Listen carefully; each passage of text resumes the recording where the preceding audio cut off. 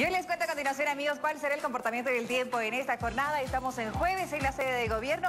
La mínima registrada muy tempranito fue de un grado bajo cero. Descienden las temperaturas y aún más la sensación térmica. La actual es de 3 y una máxima de 14 en esta jornada. El cielo parcialmente nublado.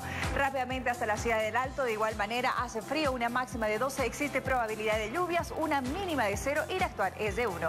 A continuación queremos saludar a toda la gente linda que vive en la capital del folclor, Oruro. Las temperaturas temperaturas descienden, una máxima de 19, probabilidad de lluvias, una mínima de 0. Y en la Villa Imperial Potosí, el comportamiento del tiempo, el día de hoy máxima 15, mínima 0.